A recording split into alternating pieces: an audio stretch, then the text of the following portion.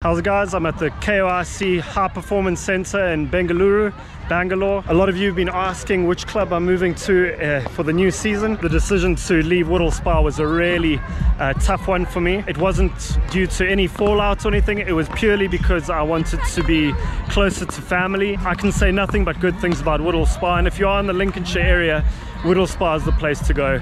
It's an absolutely unbelievable club. I've spent five wonderful years there and I'd like to thank uh, Simon, uh, the chairman, as well as the board for uh, just the freedom they gave me to do this and to start off this YouTube journey. But all good things must come to an end and uh, a new chapter starts and I'm really happy to announce that the new club I'll be playing at is Marshfield Cricket Club in the Whipple Wiltshire Premier League. So really excited to be joining Marshfield Cricket Club. Can't wait to get started.